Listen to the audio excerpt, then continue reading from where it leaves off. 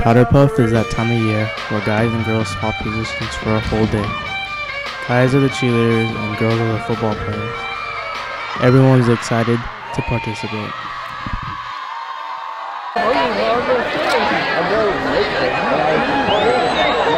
Uh, well, last year we did it and it was a lot of fun. You get to see the girls play and the guys cheerlead. And a lot of these guys are like my brothers and or sisters, and I love them. Well, I always had a love for football, so I decided once I got the opportunity to actually play and you know show my aggressiveness, I decided to come out here. Uh, you know, I did it last year, and um, it was pretty fun. So I decided to join this year, and uh, this year I just brought a whole bunch of guy, other guys with me to join with me. So it's a, bu- a bunch of more fun. Well, I played last year and I had a really good time, so I really enjoyed the the effort of the team, and I just wanted to continue to contribute to this win this year. Um, I just think that it was kind of um, really nice to communicate with other people and yeah. Um, just the fact that it's like spirited and it's something fun to participate in. It's our like if you can only do this twice, and you only have junior and senior year to do it, so why not go hard? Oh, do I have to hold it? I joined because everyone claims it's a masculine sport when girls can play it too.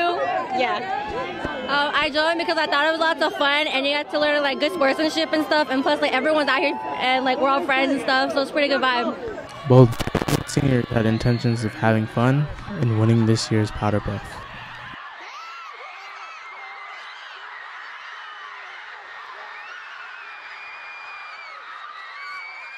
Uh, well, I just want to have fun with everyone and, you know, uh, actually perform our performance really well. And um, yeah, that's about it.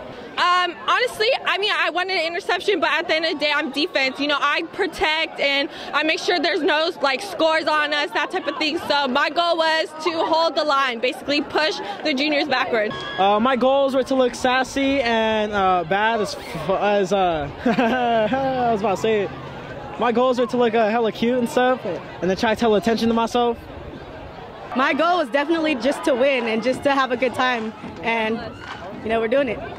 Um, my goals for Powder Puff was actually to meet a lot of people and to communicate as much as I can and to just enjoy this game. Uh, just to have fun. That's it. To have fun. To have fun and pull a flag and win.